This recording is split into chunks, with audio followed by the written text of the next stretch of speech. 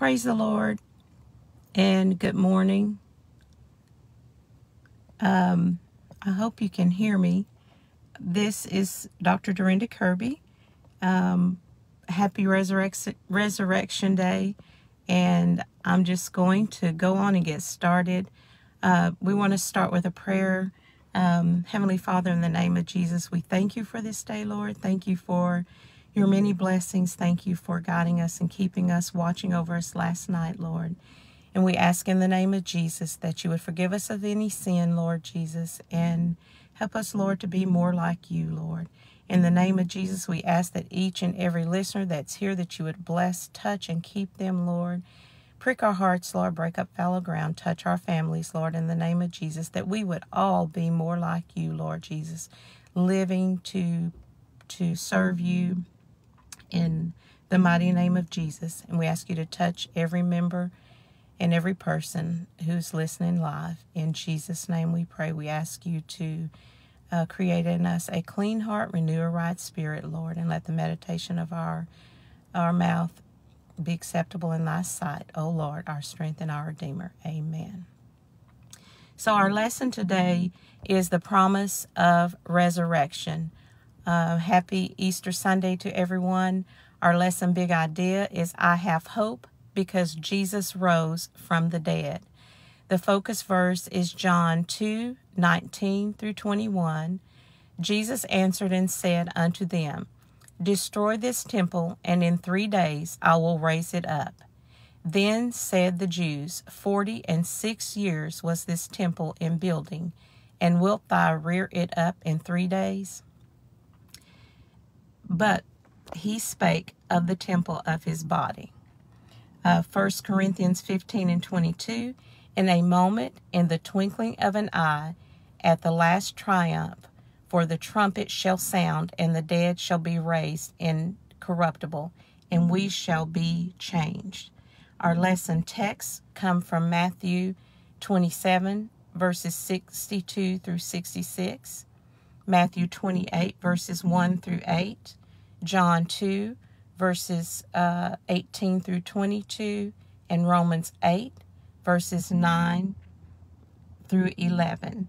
1 Corinthians 15 and 22, and 1 Thessalonians 14, verses 13 through 18. The truth about God, Jesus from the dead. So our lesson opens up and uh, the lesson connection. There's a psychologist from who's a Jewish psychologist named Viktor Frankl, and he survived both Dachau and Auschwitz.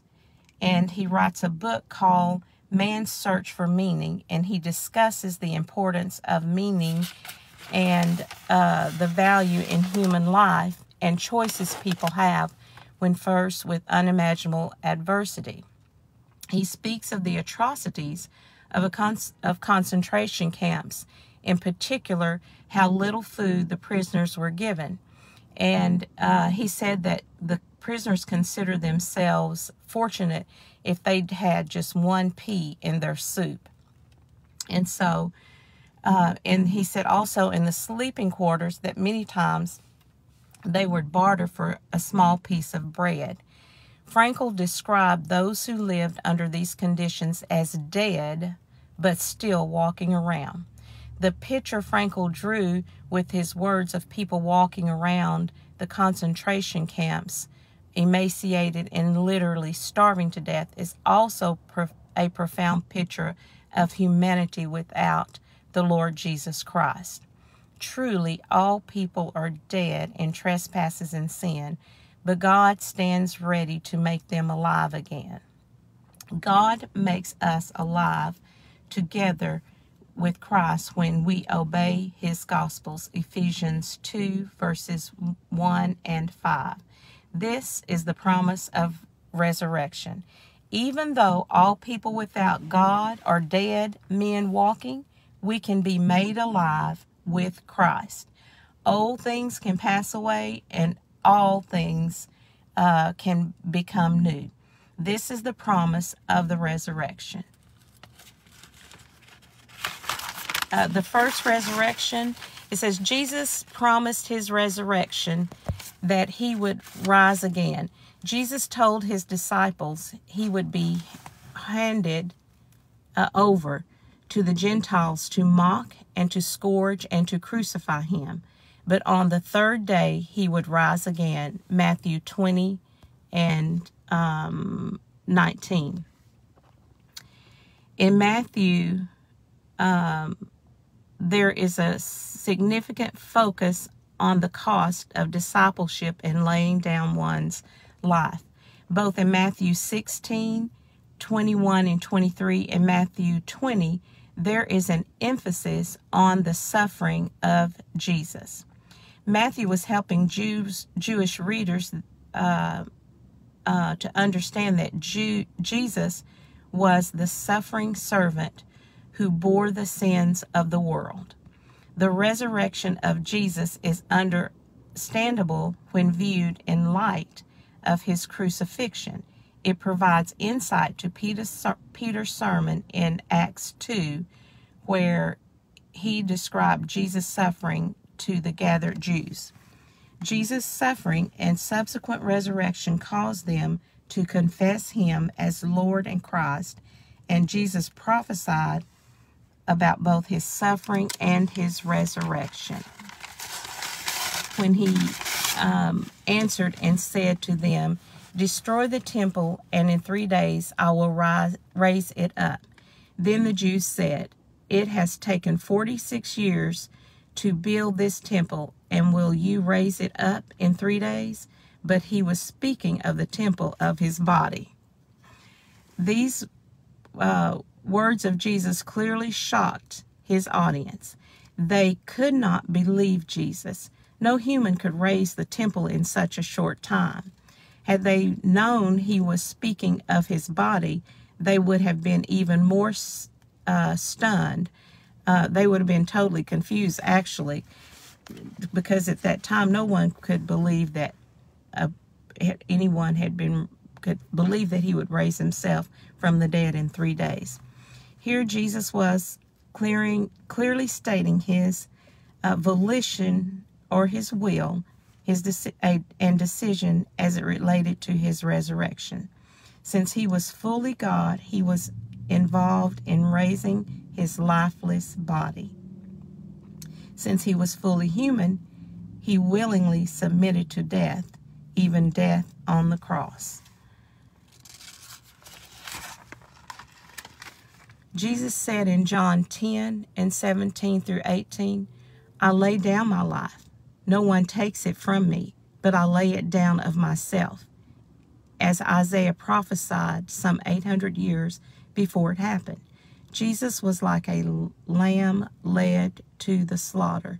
And I think that is so interesting that he's like a lamb led to the slaughter because a lamb is just innocent.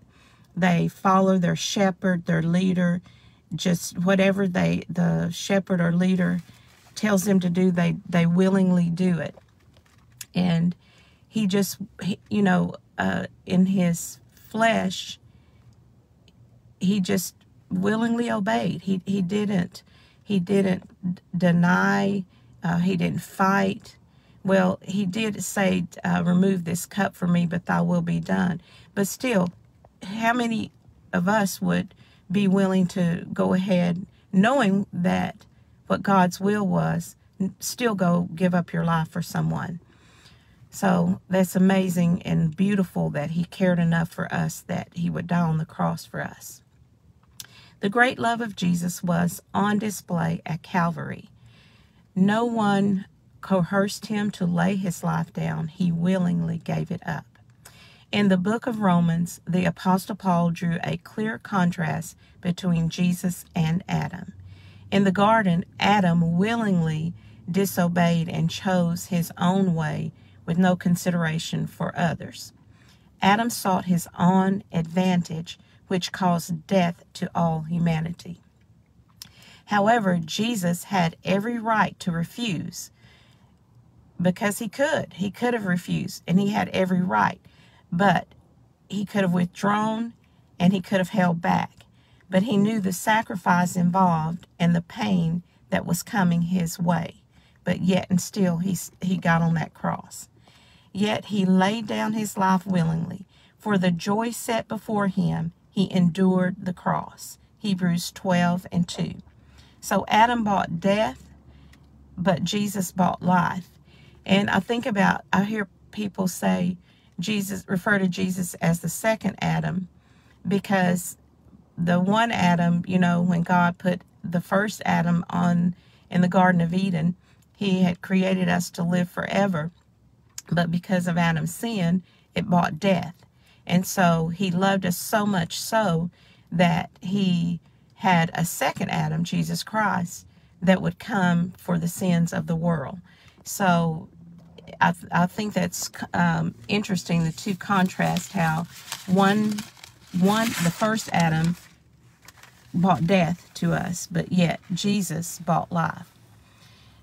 Jesus was buried in a borrowed tomb.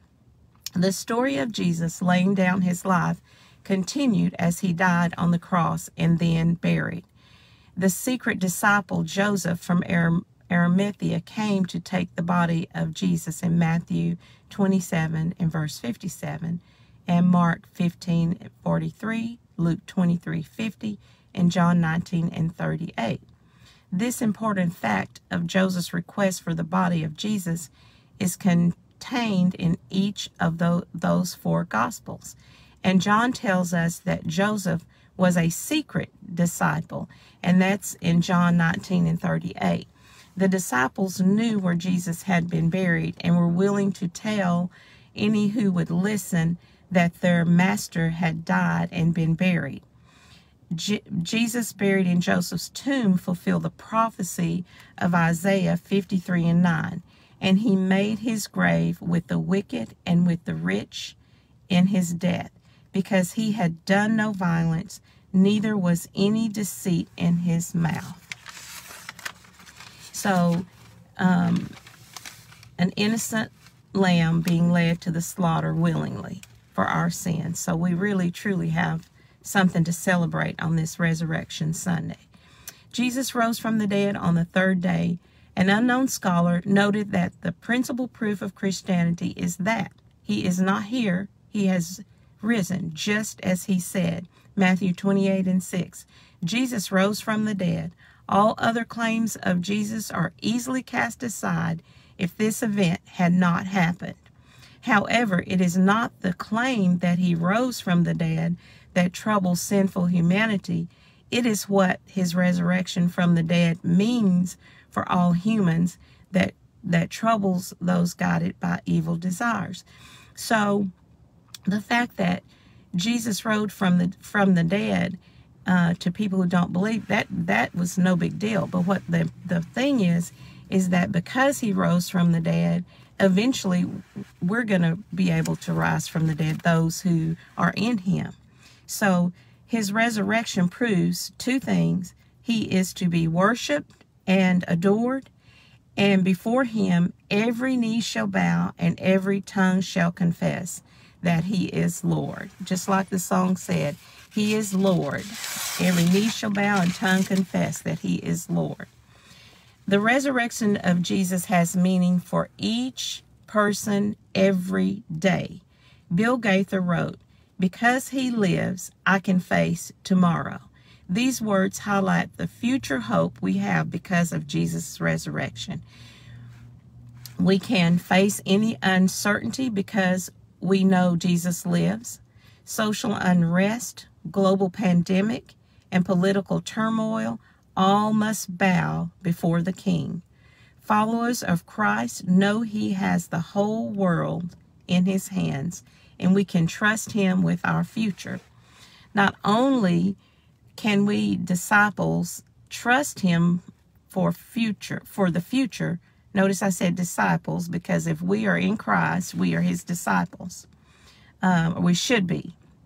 We should be out there witnessing and telling everybody about Jesus Christ and his goodness and the good things that he has done for us and, and the life, how he gave his life on the cross for our sins. So we are disciples. If we're in God, we're his disciples.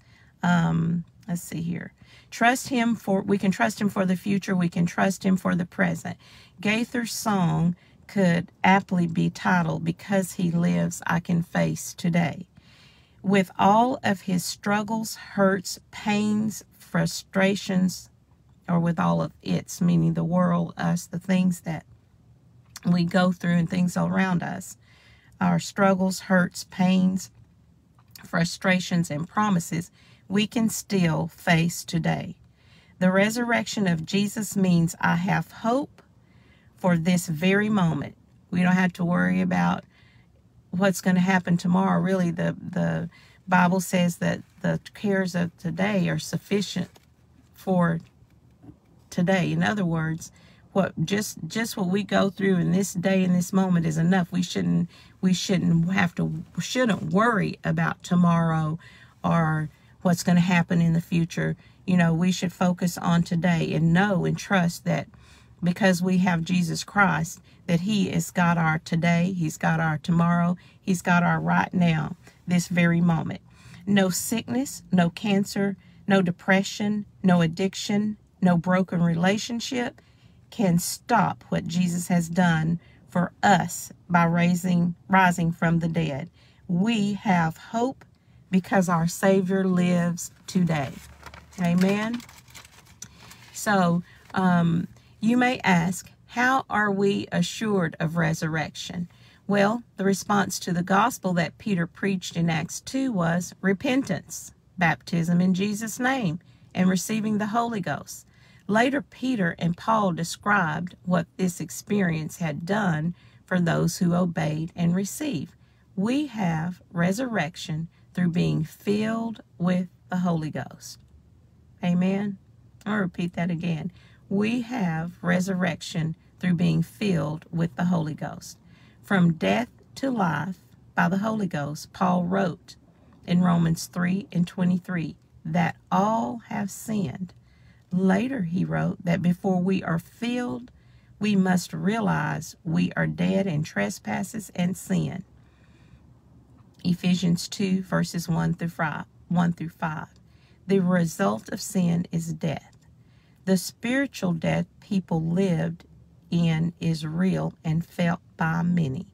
There is no earthly filler for the hole in the heart of humanity. Only Jesus can satisfy our soul.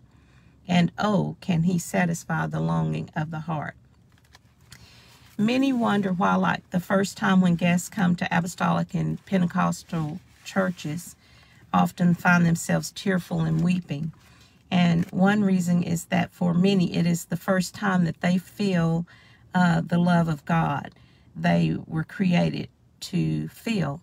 Um, I know the first time I ever went into a, uh, apostolic Pentecostal church, I did feel the Spirit of the Lord there. And I just remember thinking, I want what they have. I want that peace, that joy. I just felt so at peace.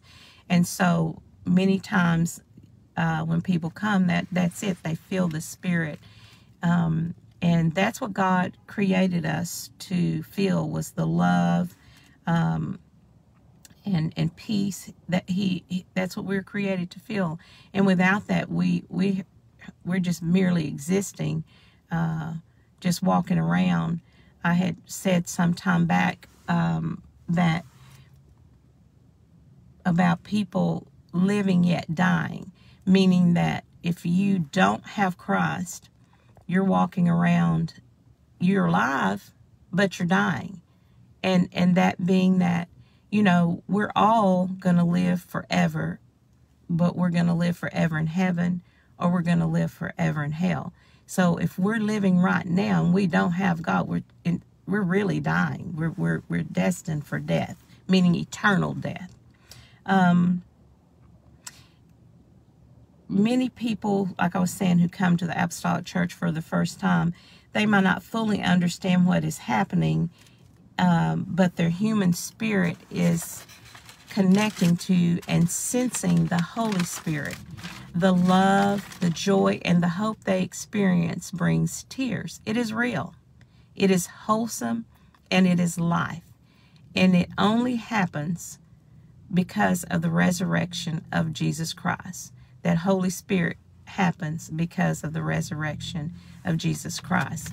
Because he didn't leave his spirit until he died. And so that's how we have the Holy Spirit is because of the resurrection that he got up.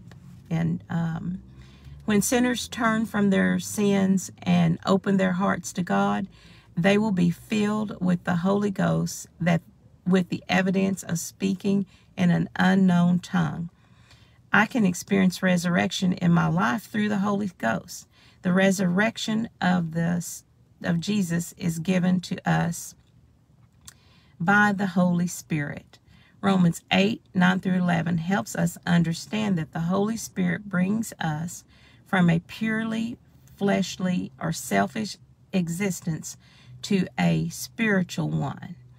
And um, I like how the lesson talks about uh, or describes um, flesh as being selfish because, you know, when we're in the flesh and in the world, it's all about what's what's in it for me, um, my desires, um, what what can I do for myself, or what can someone else do for me, or it, but it's it's selfish, and I, I never really had thought too much about it except when it was in the lesson.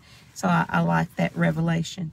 Uh, those who are filled with the Holy Ghost are in the Spirit, not the flesh. By receiving the Holy Spirit, this transformation takes place. We're filled with the Spirit. Uh, believers are sealed by the Holy Spirit of promise, Ephesians 1 13 through 14 and this guarantees our inheritance with Christ. Amen. That's a beautiful, beautiful thing to know that that our the Holy Ghost is our inheritance with Christ.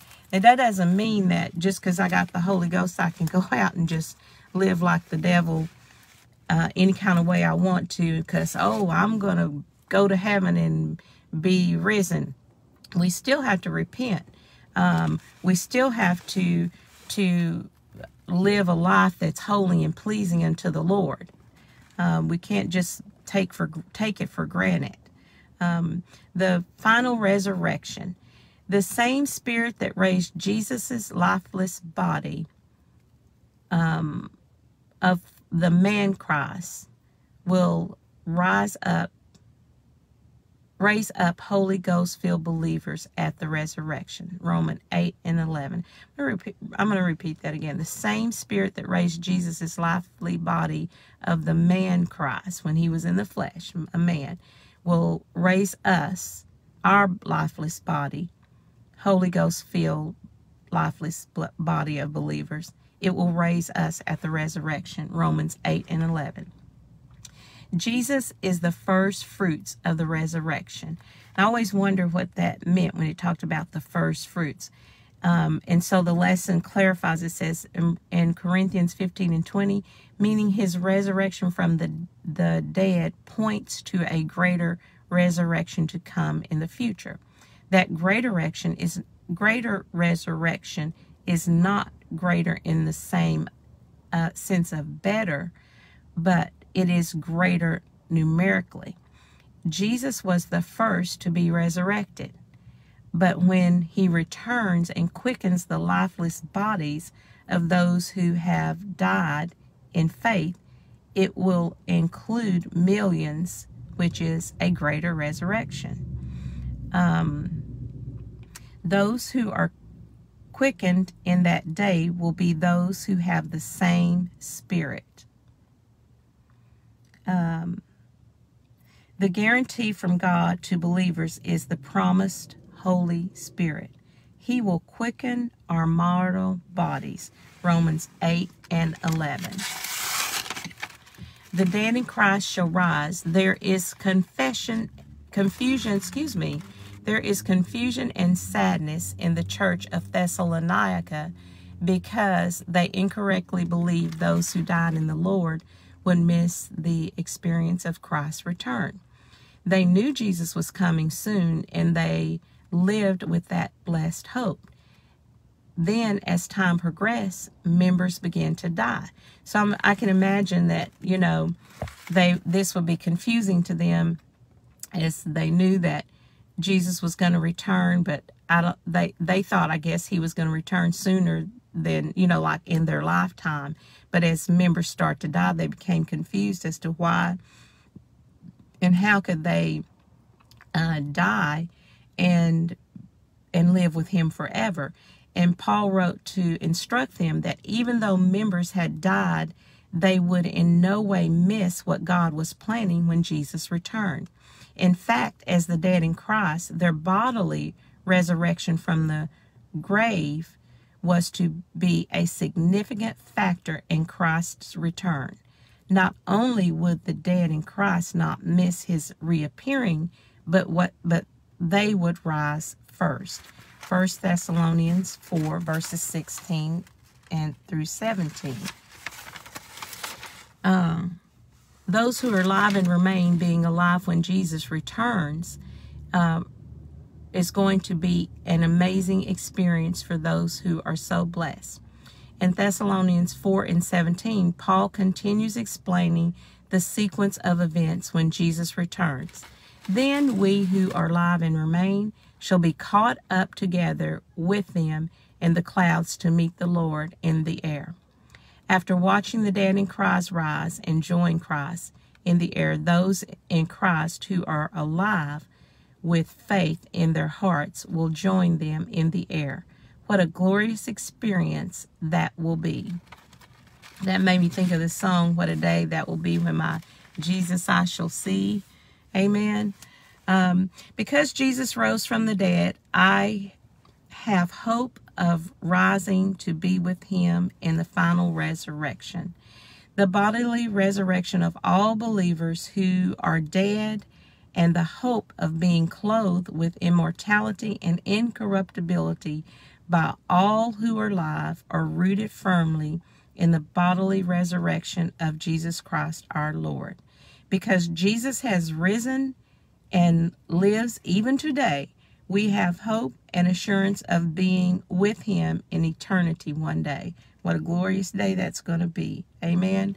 No more of the struggles of this world or the things we go through in, the, in this life. Because he rose from the dead and lives forevermore, we can thrive today and have hope for tomorrow.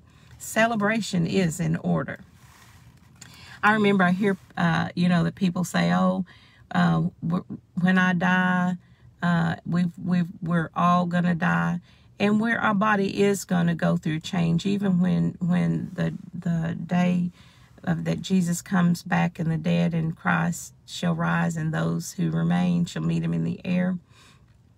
Um, I always say, well, I could be one of those who remain. I hope I am one of those who remain, even though my body will go through a, a change on that day. Uh, I, am like, I don't have to, I don't have to taste death in the fact of the uh, this going to a restful sleep. So, God is, God is, um, it's a beautiful thing to serve the Lord and have that hope of His resurrection. So, in internalizing the message, the resurrection has eternal consequences for all people. All people all people. The eternal the resurrection has eternal consequences for all people. For those who are in sin, and this is the this is the big part. Um, for those who are in sin and doubt that Jesus Christ's claims are true and ignore his love that reaches from for them will find themselves eventually entering an eternity of suffering and pain. Now that's that's the consequences for those who don't believe. This is the consequences for the believer, the hope that we have, that we all have, but the believer especially, um, who has to look forward, has something to look forward to. For those who are in Christ, who through faith believe his claims are true, they will, through obedience to the gospel, find abundant life now and a future filled with joy in his presence. So those are the two consequences um, um, the resurrection that the resurrection has for all people. When Jesus prophesied that he would rise from the dead, his disciples doubted initially and only understood after the fact. But once they saw the risen Christ and believed by faith, they were never the same, just like we are. When we receive that Holy Ghost, we're never the same. The resurrection was not an event for them, it was a person. The resurrection was someone they knew had heard, had heard speak and had uh, seen do the impossible. So they'd heard him, they'd seen him do the impossible, and they knew him. So the resurrection to them was that person, Jesus Christ. Jesus still wants to be known as the resurrection to people today. Yes, it was an event, but it is also a person to be experienced in the power of the Holy Spirit. This is the Pentecostal message. Everyone, everywhere, can experience resurrection life through the resurrection and the life Jesus Christ our Lord. John 11 and 25. So, in the um, lesson connection or internalizing the lesson, there's a, I want to read this about this little boy um, who has is talking to his father who has a very valid point. A little boy said to his dad, Dad, there are three frogs on a tree branch extending over the water. If one decides to jump in, how many frogs would be left on the branch?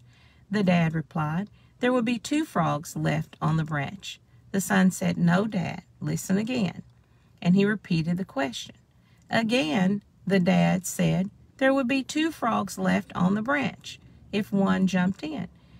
Um, the son said, No, Dad, there would be three frogs sitting on the branch.